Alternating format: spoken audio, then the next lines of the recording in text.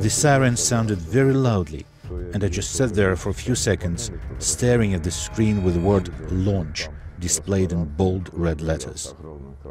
A minute later, the siren went off again.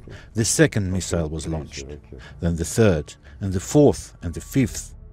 The computers changed their alerts from launch to missile strike, but we knew that every second of delay took away valuable time. I made my decision.